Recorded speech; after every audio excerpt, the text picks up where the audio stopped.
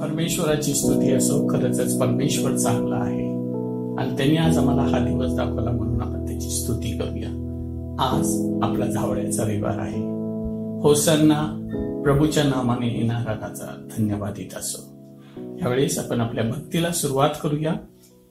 या हो या आपण परमेश्वराचा जय जयकार करू. आपल्या तारणदुर्गाचा जय जयकार करू उपकार स्मरण करीत आपण त्यास पुढे जाऊ. स्तोत्र गात त्याची जय जयकार करू आपण प्रार्थना करू. हे पवित्र सेनाधीश ते बापा आम्ही तुझी स्तुती स्तवन करतो तुझ्या नावाचा धन्यवाद करतो. या झावड्याच्या रविवारी प्रभुदेवा तू आम्हाला विशेषरित्या तू आशीर्वादित कर. प्रभुदेवा आम्ही जे काय तुझी आता स्तुती स्तवन करणार आहोत त्या स्तुतीस्तवनामध्ये तू विराजमान हो. आमच्या पोठाला आणि आमच्या कंठाला तू स्पर्श कर. आणि तुझं गुणगान तुझं गौरव हृदयापासून करण्यास तू आम्हाला सहाय्य कर. येशूच्या नावात ही प्रार्थना केली म्हणतो ऐकली त्या आम्ही यावेळेस आपल्यामध्ये बदल गौरव आणि पालखीबाई आहे ते आपल्याला स्तुती सवनामध्ये चालवतील.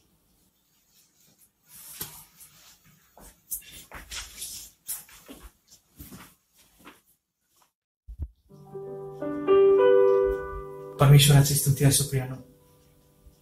परमेश्वराच्या प्रभू येशूच्या नावात तुम्हा प्रत्येकाचं मी पुन्हा एकदा या ऑनलाईन सर्व्हिसमध्ये स्वागत करतो.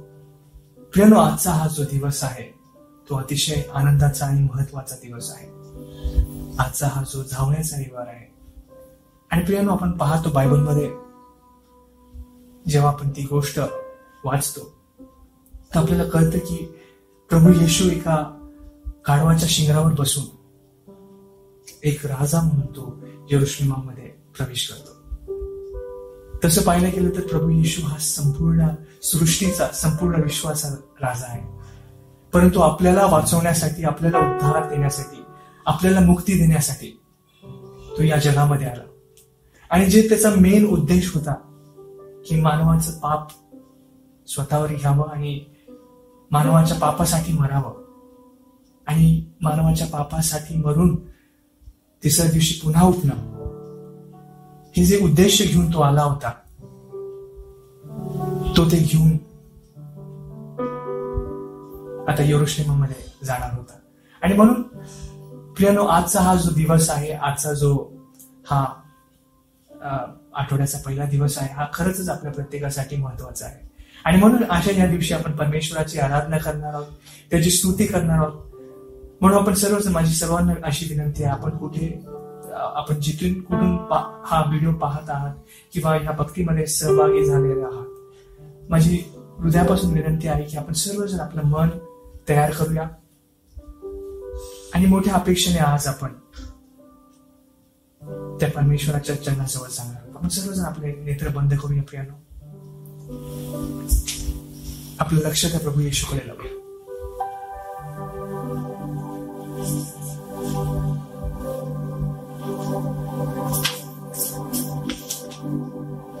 या आपण सर्वजण आपलं मुख उघडून त्या परमेश्वराची स्तुती करूया त्या पवित्र आत्मेला बोलूया पवित्र आत्मा तू आज ये तो मग प्रत्येकाची भेट घे प्रभू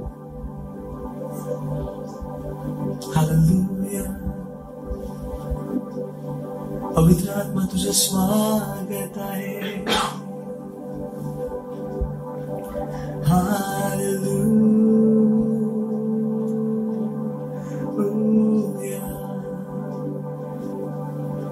प्रभू येशो मी तुझं स्वागत करीतो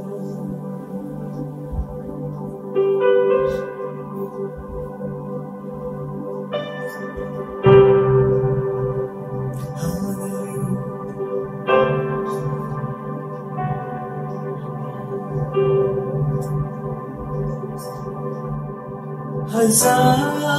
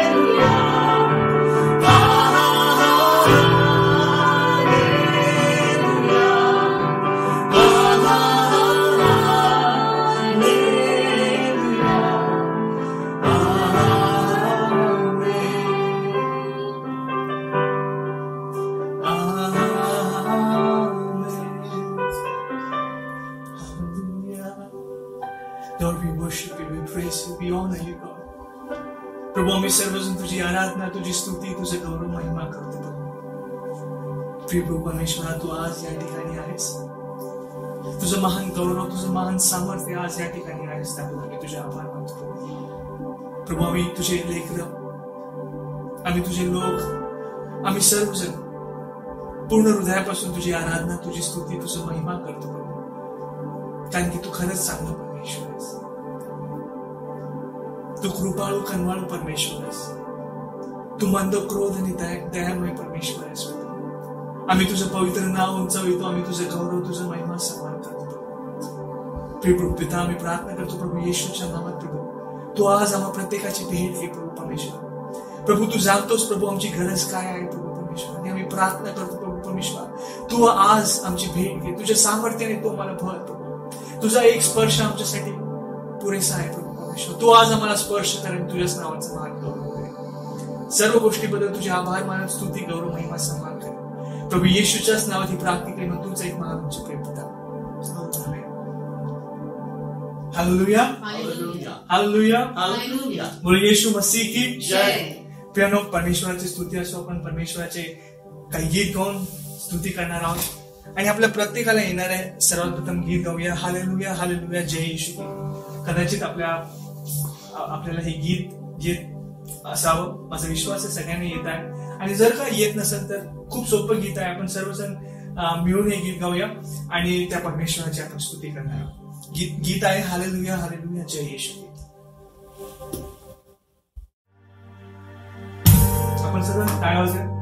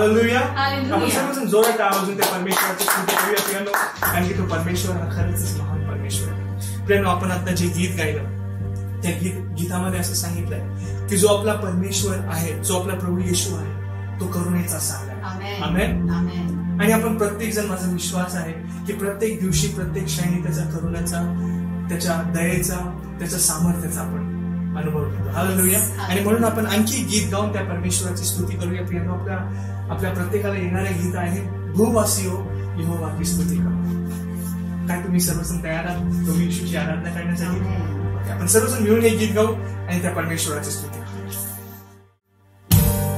सर्वजण टाळा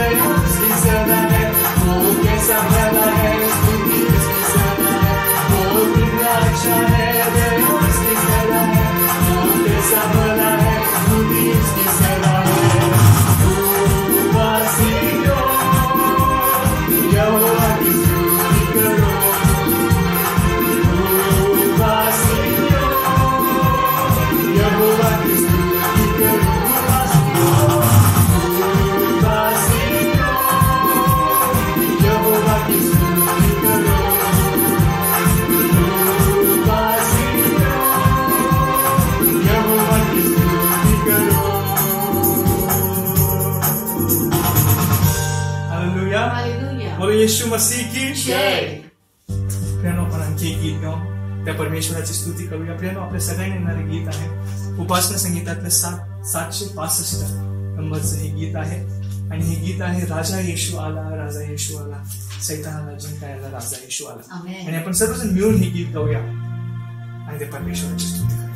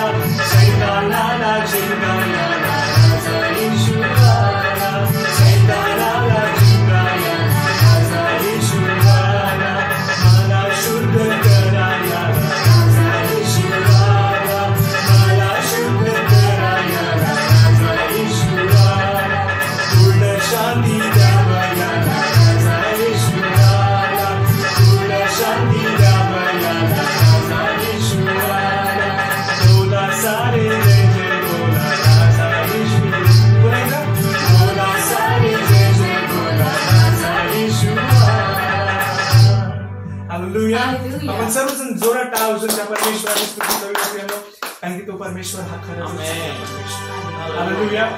तो राजांचा राजा जो प्रभूंचा प्रभू परमेश्वर आहे. तो तुम्हाला आणि मला मुक्त करण्यासाठी या प्रियनो आपण ज्यावेळेस प्रभू येशू ख्रिस्ताकडे पाहतो तर प्रियानो आपल्याला त्याची नम्रता त्याचा चांगुलपणा त्याच त्याच कनवाळूपणा हा आपल्याला पाहायला मिळतो प्रियानो. आपण पाहतो की प्रभू येशू ख्रिस्ताने संपूर्ण त्याच्या स्वर्गातलं वैभव सोडून त्याचं ऐश्वर सोडून त्या सर्व गोष्टीचा त्याग करून तो एक मानव रूप धारण करून आपल्यासाठी आपल्याला वाचवण्यासाठी या जगामध्ये आला Yes. आणि म्हणून प्रभू येशू आपल्या स्तुती आराधनेचा योग्य परमेश्वर.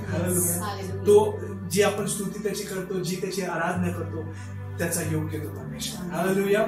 म्हणून प्रिया या आपण सर्वजण आपले नेत्र ह्यावेळेस बंद करणार आहोत आपलं लक्ष त्या प्रभू येशूकडे लावूया आणि आपली जी सर्वात उत्तम आराधना आहे जी त्याच्या योग्य अशी आराधना आहे ती आपण आज त्याला देणार त्या प्रभूला म्हणूया प्रभू आम्ही हृदयापासून तुझे आभार मानतो प्रभू की तू आमच्यासाठी प्रभू परमेश्वर त्या जगामध्ये आला आम्हाला मुक्त करण्यासाठी तू या जगामध्ये आलास आम्हाला वाचवण्यासाठी प्रभू परमेश्वर तू सर्व त्याग केलंस. आम्ही तुझे आभार मानतो तुझी स्तुती तुझं गौरव महिमा सर्व you, we worship you. Hallelujah. Glory to the Aradna.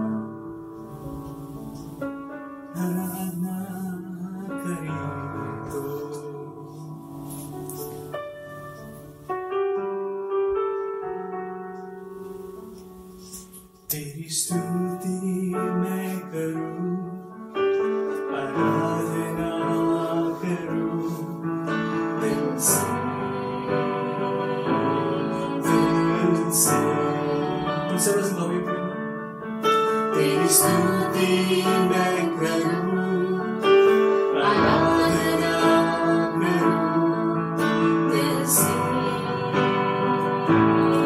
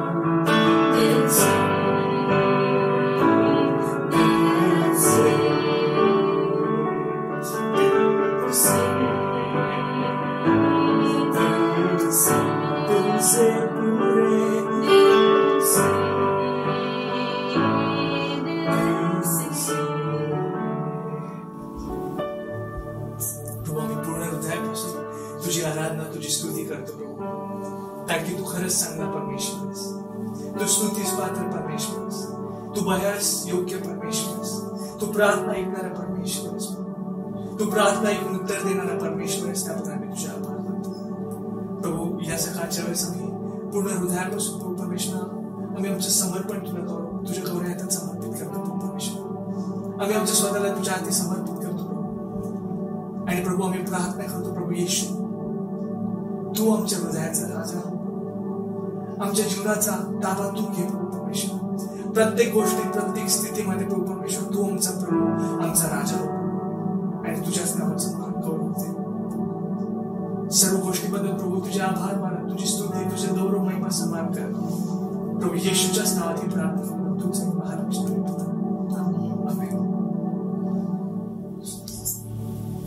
परमेश्वराची स्तुती असो प्रियाला आपण सर्वजण असेच प्रार्थनेच्या वातावरण वातावरणामध्ये परमेश्वराचं वचन ऐकू. आपण सर्वच आपले हृदय तयार करूया.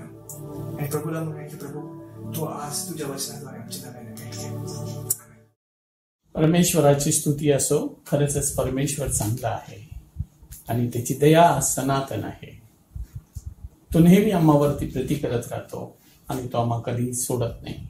आता मी ऐकलं आम्ही गायलं परमेश्वराचं गुणगान केलं परमेश्वराची महिमा केली आणि त्याच्यामध्ये परमेश्वराचं सानिध्य आमच्यामध्ये उतरून आलं.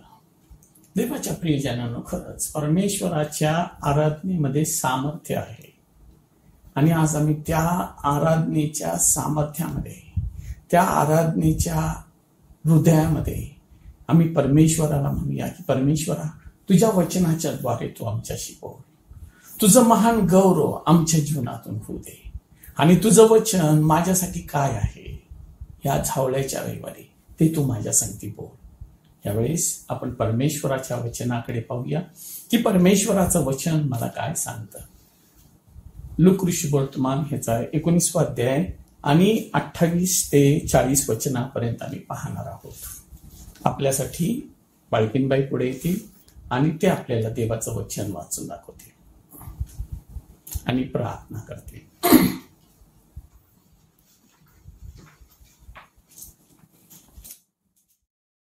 प्रियानो आता आपण परमेश्वराचं वचन वाचणार आहोत. वचन आहे लुकृत शुभवर्तमान याचा एकोणीसावा अध्याय आणि वचन आहे अठ्ठावीस ते चाळीस. लुकृत शुभवर्तमान याचा एकोणीसावा अध्याय वचन आहे अठ्ठावीस ते चाळीस. येशूचा यरुशलमेत जयोत्सवाने प्रवेश. या गोष्टी सांगून तो वर यरुशलेमेकडे जात असताना स्वतः पुढे चालत होता.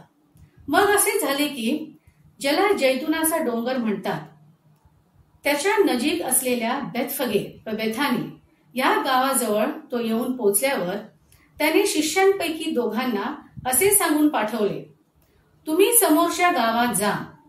म्हणजे तेथे जाताना ज्याच्यावर कोणी कधीही बसले नाही असे एक शिंगरू बांधलेले तुम्हास आढळेल. ते सोडून आणा. ते का सोडता? असे कोणी तुम्हास विचारलेच? तर प्रभूला याची गरज आहे असे सांगा. तेव्हा ज्यांना पाठविले होते ते तेथे गेल्यावर त्यास त्यांना सांगितल्याप्रमाणे आढळले. ते शिंगरू सोडित असता त्याचे धनी त्यांना म्हणाले शिंगरू का सोडता? तेव्हा ते म्हणाले प्रभूला याची गरज आहे. मग त्यांनी ते येशूकडे आणले आणि आपली वस्त्रे त्या शिंगरावर घालून त्यावर येशूला बसवले. आणि जसजसा तो पुढे चालला तस तसे लोक आपली वस्त्रे वाटेवर पसरीत गेली. तो जैतुनाच्या डोंगराच्या उतरणीवर पोहोचताच सर्व शिष्य समुदाय जी महत्कृत्ये त्यांनी पाहिली होती त्या सर्वांमुळे आनंद करून उच्च स्वराने देवाची स्तुती करीत म्हणू लागले. प्रभूच्या नावाने येणारा राजा धन्यवादित असो. स्वर्गात शांती आणि उर्वलोकी गौरव. तेव्हा लोक समुदायातील काही पुरुषांनी त्याला म्हटले गुरुजी आपल्या शिष्याना दटवा. त्याने म्हटले मी तुम्हाला सांगतो हे गप्प राहिले तर धोंडे ओरडतील. देवा ही वचनं आपल्या सर्वांसाठी आशीर्वादित करो. प्रियांनो आता आपण प्रार्थना करूया. आपण आपले नेत्र बंद करूया. Hallelujah hallelujah hallelujah. स्तुती स्तुती स्तुती. धन्यवाद प्रभू येशू ख्रिस्ता. धन्यवाद धन्यवाद धन्यवाद प्रभू येशू ख्रिस्ता. हे अखिल सृष्टीच्या उत्पन्न करता प्रभू परमेश्वर पित्या. पुन्हा एकदा आम्ही तुझी स्तुती करतो दयागन परमेश्वर सर्व आदर सन्मान गौरव महिमा तुला देतो. खरोखर दयागन परमेश्वर तू जिवंत परमेश्वर आहेस. तू सेनाधीश परमेश्वर आहेस दयागन परमेश्वरा. आणि खरोखर दयागन परमेश्वरा तू आमच्यावर आतापर्यंत दया केलीस दयागन परमेश्वर. तू आमच्यावर कृपा केलीस दयागन परमेश्वर. इतकं तू आमच्यावर प्रेम करतोस या सर्व गोष्टींबद्दल मी तुझे आभार मानते. विशेष करून दयागन परमेश्वर यावेळेस मी प्रार्थना करते दयागन परमेश्वरा. खरोखर दयागन परमेश्वर जे तुझं पवित्र वचन आता दयागन परमेश्वरा आम्ही ऐकणार आहोत दयानंद परमेश्वरा तर प्रभू मी प्रार्थना करते हे वचन ऐकत असताना दयानंद परमेश्वरा आमच्या प्रत्येकाच्या हृदयाला आणि अंतकरण स्पर्श कर दयानंद परमेश्वरा आणि खरोखर दयानंद परमेश्वरा जे काही दयानंद परमेश्वर या वचनाद्वारे तुला आम्हाला सांगायचे दयानंद परमेश्वरा ते सगळं काही समजण्यास तू आम्हाला सहाय्य कर मदत कर मार्गदर्शन कर. आणि खरोखर दयानंद परमेश्वरा जे वचन आम्ही आता ऐकू दयानंद परमेश्वरा ते वचन ऐकून दयानंद परमेश्वरा त्याप्रमाणे दयानंद परमेश्वरा आम्ही तुझ्यासाठी एक चांगलं जीवन जगावं आणि त्याप्रमाणे आम्ही वागावं. अशी तू कृपा आमच्यावर कर अशी मी प्रार्थना विनंती करते. आणि या वचनाद्वारे आणि आम्हा सर्वांद्वारे दयागन परमेश्वर तुझा गौरव करून घे. इथून पुढची सर्व वेळ काळ समय तुझ्या हाती सोपून देत प्रभू येशू ख्रिस्ताच्या पवित्र नावात प्रार्थना केली म्हणून तू ऐक महान माझ्या स्वर्गीय पित्या. आमेन.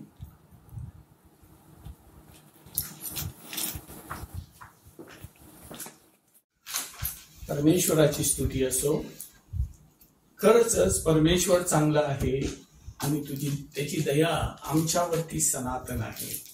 त्यावेळेस आपण या झावळ्याच्या रविवारी झावळ्याच्या रविवारच्या निमित्ताने देवाचं गुणगान देवाचं गौरव देवाचं महिमा करण्यासाठी आम्ही आता इथं ऑनलाईन जमलेलो आहोत. पण देवाचं वचन आम्हाला काय सांगतं? देवाच्या वचनामध्ये फार महत्त्वाच्या गोष्टी सांगितलेल्या आहे बघा प्रभू येशू ख्रिस्त आणि प्रभू येशू ख्रिस्ताच्या संबंधाने ह्या मत्ते मार्क लूक आणि यहान या चार पुस्तकांमध्ये फार महत्त्वाच्या गोष्टी सांगितलेल्या आहे आणि ह्या चारही पुस्तकामध्ये एकोणनव्वद चॅप्टर आहेत एकोणनव्वद अध्याय आहेत. आणि ह्या एकोणनव्वद अध्यायामध्ये पाच अध्याय असे आहे की त्याच्या सुरुवातीचा काळ त्यांनी सांगितलेला आहे. आणि एकोणतीस अध्याय असे आहे की त्याने ह्या पॅशन वीकबद्दल सांगितलेलं आहे. आणि पंचावन्न अध्याय जे आहेत ना त्याने तीस ते तेहतीस वर्ष ह्या काळामध्ये काय सेवा केलेली आहे ह्याच्या संबंधाने ती सांगितलेली आहे. आणि जर मी पाहिलं ह्या नवीन करारामध्ये दोनशे साठ चॅप्टर आहेत. पण ह्या सर्व चॅप्टरमध्ये जो प्रभू येशू जो ह्या सर्व गोष्टीचा दाता आहे. आणि आज आम्ही पाहणार आहोत की हा ओलांडन सण पाळण्यासाठी हे सर्व इस्रायल लोक एरुशलमेमध्ये आले होते.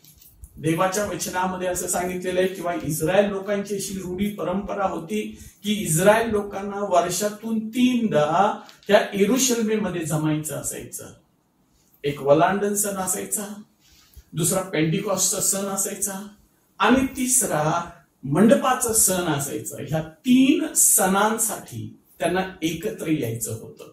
आणि ज्यावेळेस आम्ही पाहतो हा ओलांडन सण आणि ह्या ओलांडन सणाचा जो गो कोकरा आहे ना हा कोकरा इस्रायल लोक आपल्यासाठी आणून दहाव्या दिवशी निसान महिन्याच्या दहा तारखेला ते आपल्या दारामध्ये बांधायचे.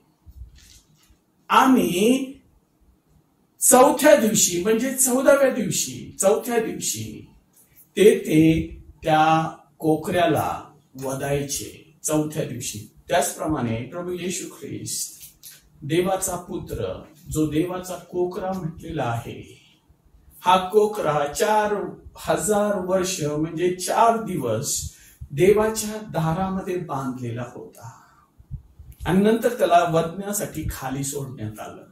आणि तो ह्या जगामध्ये आला त्या क्रूज खांबावरती मेला आणि त्यांनी तुमच्या आणि माझ्यासाठी एक जीवन दिलं. देवाच्या प्रियजनांनो ज्यावेळेस आम्ही पाहतो या वचनाकडे पाहतो तर ज्या वचनावरती आपण मनन करणार आहोत ना लुक ऋषी वर्तमान ह्याचा एकोणीसवा अध्याय अठ्ठावीस ते चाळीस वचन.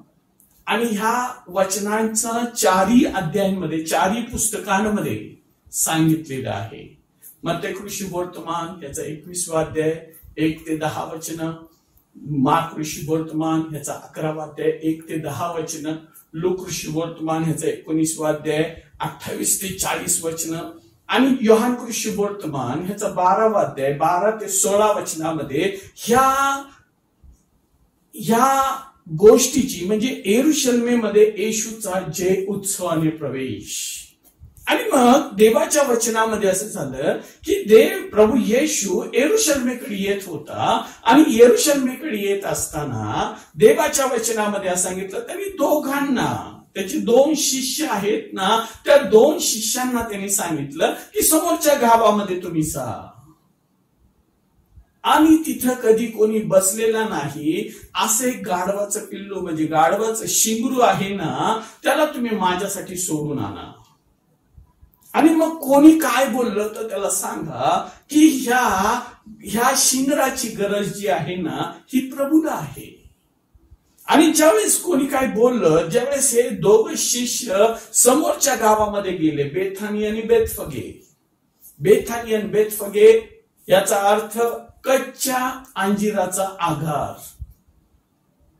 आणि ह्या कच्च्या अंजिराच्या आगारामध्ये प्रभू येशू ह्या दोन शिष्यांना पाठवतो बेथानी आणि बेतफगे. आणि तिथं सांगतो की माझ्यासाठी एक तरुण गाढव म्हणजे गाढवाचं पिल्लू शिंगरू आहे ना ते बांधून ठेवलेलं आहे. आणि हा गाढवाचं पिल्लू जे आहे ना किंवा हे शिंगरू जे आहे ना हे शिंगरू कुठं उभा राहिलेलं आहे? तर बेत फगेन बेथानी ह्या दोन्हीच्या मधी बांधलेलं आहे. आणि त्याच्या डोक्यामध्ये विचार चाललेला आहे की मी कोणत्या रस्त्याने जावं? आणि ज्यावेळेस आम्ही गाढवाबद्दल पाहतो किंवा शिंगराबद्दल पाहतो. तर हे प्राणी ना ह्या प्राण्याबद्दल असं म्हटलेलं आहे की हा शांतीचं प्रतीक आहे. उदाहरणार्थ ज्यावेळेस आम्ही जुन्या करारामध्ये पाहतो आणि जुन्या करारामध्ये ज्यावेळेस राजे महाराजे यांचे युद्ध व्हायचे आणि युद्ध होत असताना ज्यावेळेस ते आपले एकमेकांचे राजदूत एकमेकांकडे पाठवायचे ना तर हे एकमेकांकडे पाठवत असताना हे घोड्यावरती जात नव्हते. जर ह्या राजाला त्या त्या तिथल्या समोरच्या राजाला निरोप पाठवायचा झाला ना तर हा जो माणूस जो निरोप घेऊन जाणारा आहे ना हा घोड्यावर जात नव्हता. तर हा एका गाढवावरती बसून त्या समोरच्या राजाकडे जायचं. म्हणजे त्या समोरच्या राजाला आणि तिथल्या सैन्याला वाटायचं की बाबा हा त्या काहीतरी निरोप घेऊन आलेला आहे. म्हणून हे गाढवाचं प्रतीक काय आहे? तर गाढव हे शांतीचं प्रतीक आहे. म्हणून प्रभू येशू ख्रिस्त त्याच्या वचनामध्ये असं सांगतं हे यरुशल्मे तुला जर शांतीचं शांतीच्या बद्दल जर तू विचार केला असता तर तुझ्या जीवनामध्ये शांती आली असती. येरुशमीकडे पाहून म्हणतो तू शांती शांतीकडे पाह तुला तू शांतीची शोध केला असता तर तुझ्याकडे शांती आहे. जो प्रभू येशू जो देवाचा पुत्र जो आहे ना प्रभू येशू ख्रिस्ताला देवाने शांती करण्यासाठी ह्या जगामध्ये पाठवलं आहे. आणि मग हा प्रभू येशू जो आहे ना हा प्रभू येशू ख्रिस्त ज्यावेळेस तो त्या बेथानियन बेथफगेच्या गावाजवळ गेला आणि त्यांनी ज्यावेळेस तो पुढे जात असताना देवाच्या वचनामध्ये असं सांगितलं देवाच्या प्रियजनांनो प्रभूला ह्याची गरज आहे. कोण आहे हा प्रभू?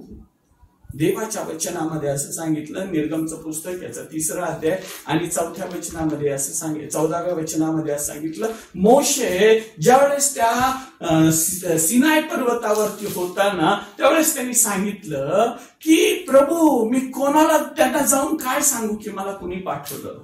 तो म्हटला जाऊन सांग त्यांना मी जो आहे तो आहे. तो प्रभू तो प्रभू ह्या दोन शिष्यांना म्हणतो तुम्ही जाऊन सांगा त्या गाढवाची गरज कोणाला आहे? तर प्रभूला. तो प्रभू जो प्रभू जो प्रभू आहे ना जो प्रभूंचा प्रभू आहे जो आहे तो आहे. त्या प्रभूला आज ह्या गाढवाची गरज लागली. आणि कशासाठी? देवाच्या प्रियजनांनो ज्यावेळेस आम्ही पाहतो ना हा गाढवाबद्दल जर थोडस गाढवाची बद्दल जर आम्ही पाहिलं ना आम्ही त्याच्याकडे पाहतो. आणि त्याच्याकडे पाहिल्यानंतर काय म्हणतो? हा निर्भूत आहे. ह्याला काही समजत नाही. हे गाढवच आहे हा. पण स्पेशालिटी काय आहे गाढवामध्ये? देवाच्या प्रियजनांनो प्रभूला त्या गाढवाची का गरज वाटली? त्या गाढवाचं का त्याला का त्याला गरज होती? तर त्याचं कारण होतं गाढवामध्ये काहीतरी स्पेशालिटी होती. देवाच्या प्रियजनानं प्रभू ज्यावेळेस आम्हाला बोलवतो ना आम्हाला देवाची सेवा करण्यासाठी बोलवलंय ना आम्हाला देवाचं काम करण्यासाठी बोलवलेलं आहे ना तर आमच्याकडे देवाने काहीतरी पाहिलं आणि म्हणून त्याने आम्हाला बोलवलं. स्पेशालिटी ह्या गाढवामध्ये काय होते? तर देवाच्या वचनामध्ये असं सांगितलेलं आहे. देवाचं वचन आणि अं, स्वाभाविकरित्या पाहिलं तर हा गाढव जो आहे ना हा कधीच घाण पाणी पित नाही. दुसरी गोष्ट हा गाढव एक दिवस आमच्याकडं एक पालक साहेब आले होते. आणि ते आम्हाला असं एक गोष्ट सांगायला लागले. आणि ते सांगत असताना ते आम्हाला म्हटले की मी एका ठिकाणी प्रार्थनेला गेलो होतो. आणि संध्याकाळची वेळ होती. आणि संध्याकाळची वेळ असताना मी तिथं प्रार्थना घेत होतो. आणि प्रार्थना घेत असताना माझ्यासमोर सगळे लोक असे बसलेले होते. आणि समोर बसल्यानंतर हे सर्व लोक जे आहेत ना हे देवाचं वचन माझ्यात मी सांगत असताना सगळेजण ऐकत होते. आणि अशी काहीतरी थोडासा असं आवाज झाला आणि मी पाहिलं की असे काहीतरी गाढव जे आहेत ना ते असे त्यांच्या सम- बाजूने असे गेले आणि शेतामध्ये गेले. आता मी पाळत मी देवाची सेवा करणारा मला असं वाटलं ह्या लोकांचं हे एवढं शेत पडलेलं आहे आणि ह्या शेतामध्ये हे गाढवं गेले हे खाऊन टाकतील. म्हणून मी त्या लोकांना सांगितलं अरे बाबा तुमचे ते गाढवं गेलेले शेतामध्ये तुम्ही बघा त्यांना. ते म्हटलं पाळकसाहेब जाऊ द्या तुम्ही तुमचं वचन सांगा. मी म्हटलं पण ते शेतात खातील ना. ते म्हटले ते नाही खाणार. म्हणे का नाही खाणार? म्हणे ते शेत आहे ना तंबाखूचं शेत आहे. स्पेशालिटी देवाच्या प्रियजनांनो जेव्हा गा प्रभूला ह्याची गरज आहे हे ज्या वेळेस त्या प्रभूनी पाहिलं ना त्या गाढवामध्ये देवाच्या प्रियजनानं आज मी इथं आहोत. प्रभूला आज माझी गरज आहे. प्रभू मला आज काय पाहत आहे? प्रभूची इच्छा काय आहे? की माझ्या जीवनामध्ये काय स्पेशलिटी असावी? मला प्रभू प्रभूला माझी का गरज आहे? प्रभूला माझी गरज ह्यासाठी आहे की प्रभू ह्या जगामध्ये जाऊन माझ्या डोळ्याशिवाय जग पाहू शकत नाही. माझ्या हाताशिवाय प्रभू ह्या जगामध्ये जाऊ शकत नाही. माझ्या पायाशिवाय प्रभू जगामध्ये जाऊ शकत नाही. माझ्या जिभेशिवाय देव लोकांसाठी बोलू शकत नाही. म्हणून प्रभूची इच्छा काय आहे? देवाच्या प्रियजनांनो त्याला तुमची गरज आहे. तो तुमच्याद्वारे जगासाठी बोलणार आहे. म्हणून ज्यावेळेस हा एरुशल्मेमध्ये प्रवेश केला ना ह्या प्रभू येशू ख्रिस्ताने त्यावेळेस त्यांनी एक स्पेशल गोष्ट पाहिली. आणि त्यांनी सांगितलं जा प्रभूला ह्याची गरज आहे. आणि देवाच्या वचनामध्ये असं सांगितलेलं आहे ते गाढव एका ठिकाणी बांधलेलं होतं. आणि देवाच्या वचनामध्ये असं सांगितलेलं आहे की हे गाढव ज्यावेळेस सोडलं देवाच्या वचनात आम्ही पाहतो ना उत्पत्तीचं पुस्तक याचा एकोणपन्नास आहे आणि अकराव्या वचनामध्ये असं सांगितलेलं आहे. काय सांगितलं? कृपा करून कुणी वाचता का? उत्पत्तीचं पुस्तक एकोणपन्नास आहे आणि अकरावं वचन काय सांगितलंय?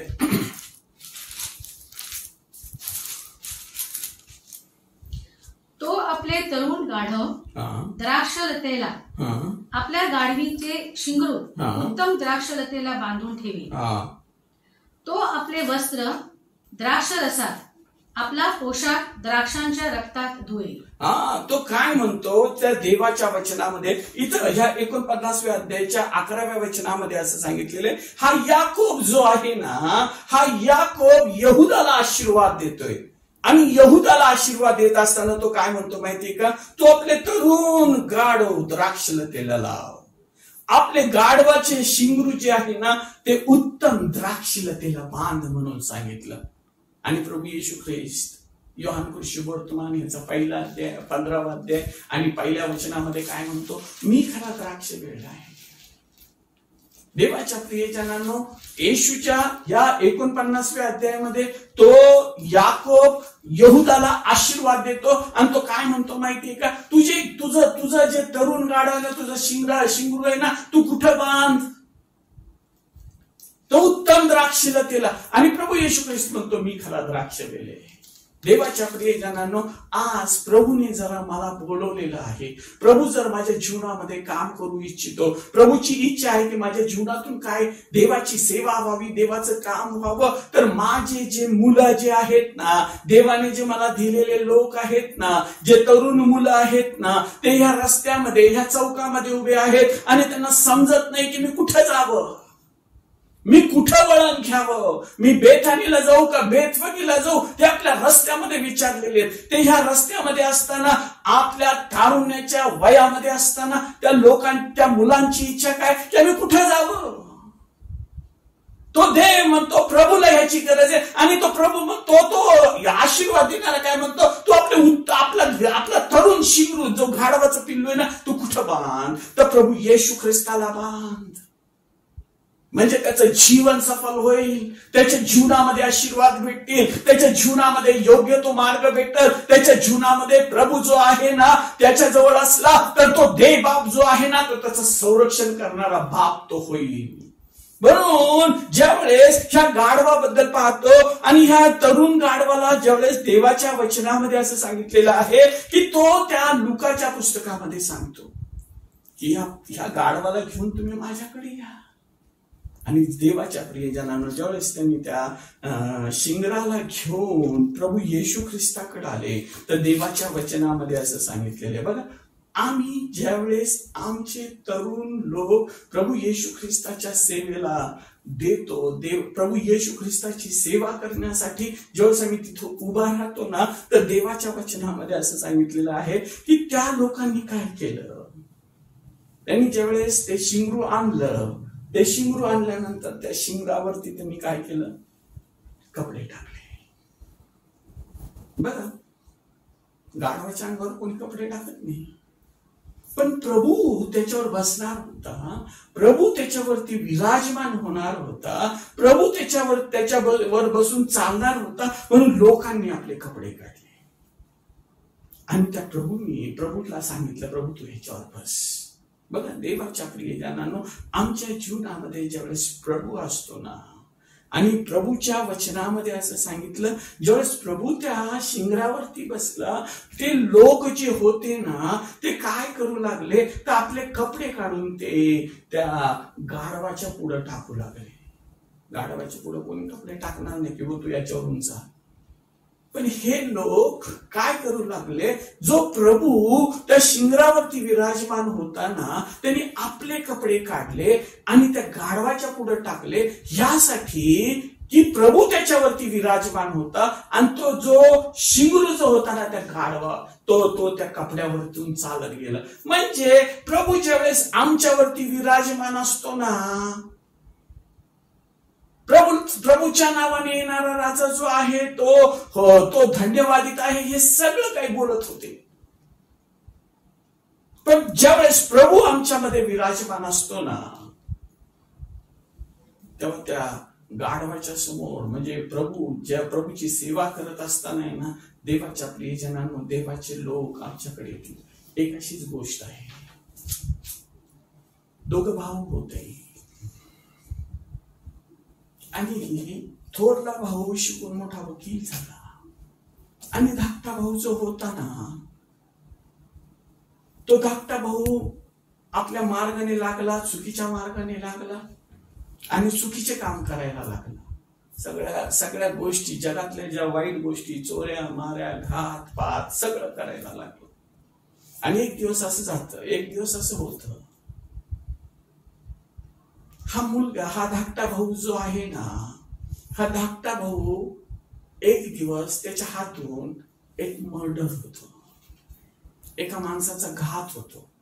आणि तो त्या हातामध्ये आपला चाकू घेऊन त्या रक्ताने त्या माणसाचे भरलेले हात तो घेऊन पळत पळत आपल्या घरी येतो. आणि घरी आल्यानंतर तो पाहतो काय? तर हा मोठा भाऊ जो जो होता ना त्यांनी पाहिलं आपल्या भावाने काय केलेलं आहे. आणि मग त्यांनी पाहिलं त्या भावाला. आणि त्या भावाला पटकन त्यांनी घरामध्ये बोलवलं. आणि घरामध्ये बोलवलं आणि त्याला सांगितलं की तू माझे कपडे घाल आणि हे कपडे काढून ठेव पटकन बाहेर. आणि ज्यावेळेस तो पळत पळत येत होता त्यावेळेस लोक त्याच्यामागे पळत होते. आणि ज्यावेळेस लोक त्याच्यामागे पळत होते ना लोक ज्यावेळेस त्याच्यामागे पळत होते ना हा भाऊ पटकन पळून आला घरामध्ये.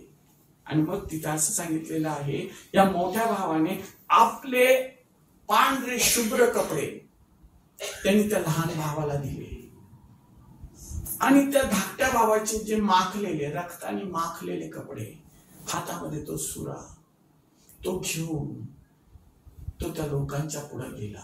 पोलिसांनी त्याला पकडलं नेलं सांगितलं तू खून केलास का पण हा धाकटा भाऊ हा धाकटा भाऊ काय म्हणत होता? अरे दादा हा तू माझ्या बदली तू का जातोस? तो म्हटला आता हे होऊ दे. पण एक काम कर मी तुझ्या बदली जातो. मी तुझ्या बदली मी तुझ्या वाटेचं जे सर्व तू केलेलं आहे ना त्याची शिक्षा मी भोगतो.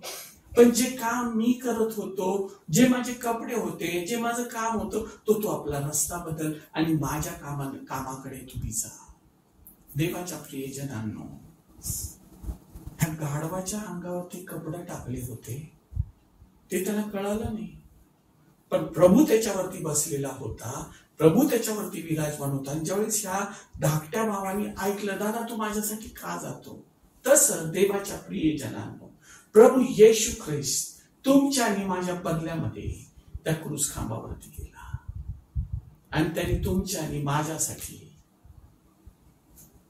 एक मुक्तीचा मार्ग त्यांनी केला. म्हणून देवाच्या वचनामध्ये असं सांगितलं ज्यावेळेस प्रभू येशू ख्रिस्त आणि त्याचे शिष्य हे तिथं आले त्यावेळेस लोक म्हणू लागले प्रभूच्या नावाने येणारा राजा धन्यवादित असो.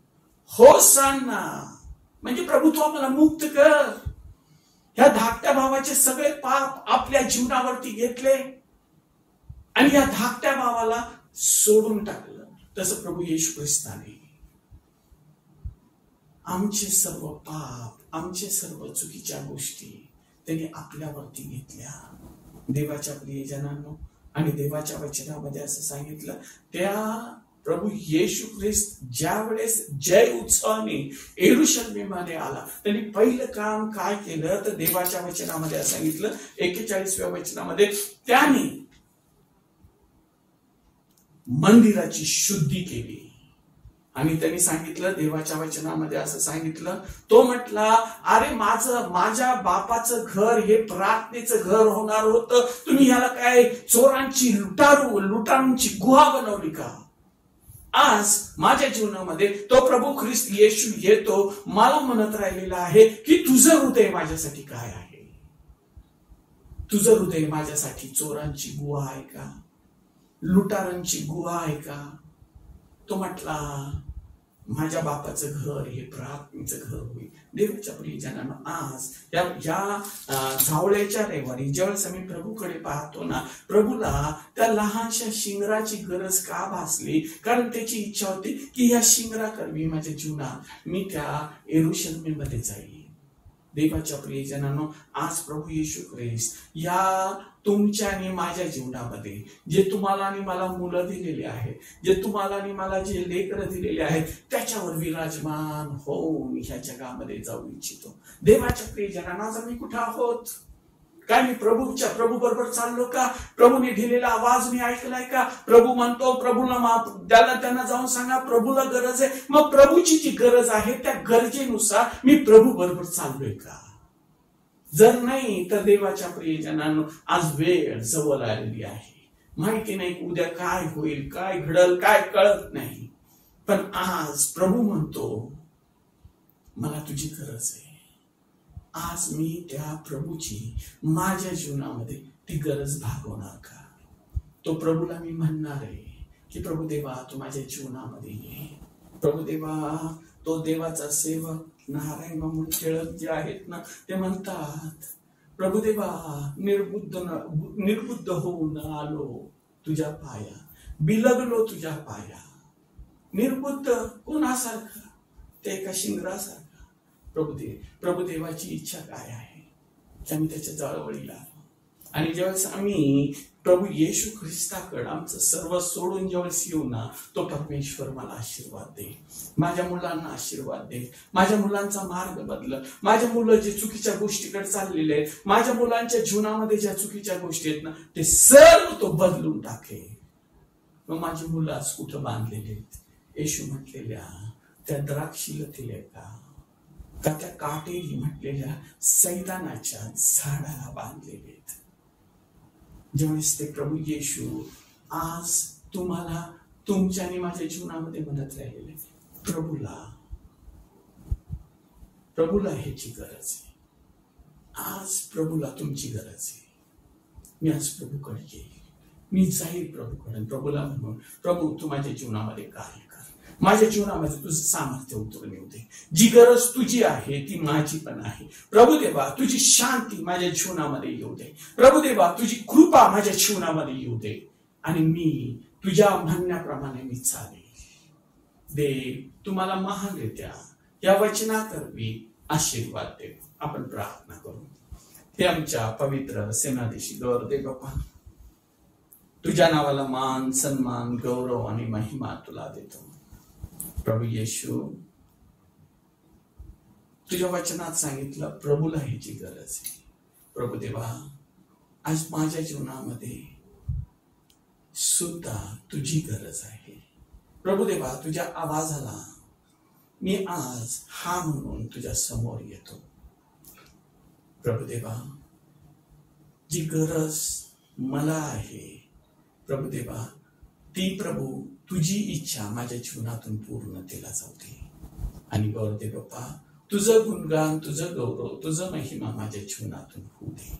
येशूच्या नावात. ही प्रार्थना केली म्हणतोय विद्याला आम्ही आपण प्रभूनी शिकवलेली प्रार्थना म्हणून हे आमच्या स्वर्गातील बापा तुझे नाव पवित्र मानले जा. तुझे राज्य जसे स्वर्गात तसे पृथ्वी. तुझे इच्छेप्रमाणे.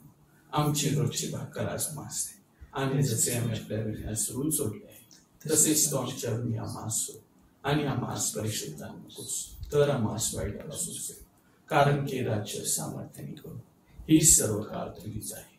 आम्ही. आता देवबापाची प्रीती येशू ख्रिस्ताची कृपा आणि पवित्र आत्म्याची सहभागिता तुम्हा सर्वांबरोबर आता आणि सदा सर्व काळ राहो. आम्ही प्रियांनो माझा विश्वास आहे की आजच्या या वचनाद्वारे आपण सर्वजण आशीर्वादित झालेलो आहोत. आणि खरंच जे वचन आपण आत्ताच ऐकलं तर त्या वचनामध्ये आपण पाहिलं प्रियांनो की प्रभूला त्या शिंगराची गरज होती. आणि त्याच प्रकारे प्रियांनो आज प्रभूला तुमची गरज आहे. प्रभू तुम्हाला हात मारत आहे. प्रभू म्हणत आहे माझ्या मुला माझी माझ्या मुली मला तुझी गरज आहे. तर प्रियांनो जर तुमचं उत्तर प्रभूसाठी होकारार्थी असेल तर या यावेळेस आपण प्रार्थना करूया. प्रिय प्रभू येशू ख्रिस्ता प्रिय प्रभू येशू ख्रिस्ता यावेळेस यावेळेस मी माझं समर्पण तुझ्या हातामध्ये करतो. माझं समर्पण तुझ्या हातामध्ये करतो. तू माझ्या जीवनामध्ये विराजमान हो. तू माझ्या जीवनामध्ये विराजमान तू माझ्या हृदयामध्ये विराजमान हो. तू माझ्या हृदयामध्ये विराजमान हो. आणि केवळ तुझंच गौरव माझ्या जीवनाद्वारे तू करून केवळ तुझंच प्रभू येशू ख्रिस्ताच्या पवित्र नावाने प्रार्थना केली म्हणून तू ऐक महान माझ्या स्वर्गीय पित्या. प्रभू येशू ख्रिस्ताच्या महान नावात प्रार्थना केली म्हणून तो एक स्वर्गीय आमेन. तर प्रियांनो आपण पुन्हा एकदा या ऑनलाईन माध्यमातून दहा तारखेला म्हणजे जो गुड फ्रायडे आहे त्या दिवशी आपण भेटणार आहोत. गुड फ्रायडेची आपली अशीच ऑनलाईन चर्च सर्व्हिस होणार आहे. पण फक्त वेळ थोडा बदललेला आहे. आपल्या गुड फ्रायडेची उपासना दुपारी बारा वाजता सुरू होणार आहे. तर पुन्हा भेटूया. गुड फ्रायडेच्या दिवशी ह्याच ऑनलाईन माध्यमातनं दुपारी बारा वाजता. आणि तोपर्यंत माझी विनंती आहे आपल्या सर्वांना की आपण सगळेजण प्रार्थनेमध्ये राहूया आणि प्रभूच्या सानिध्यामध्ये वाढूया. Be blessed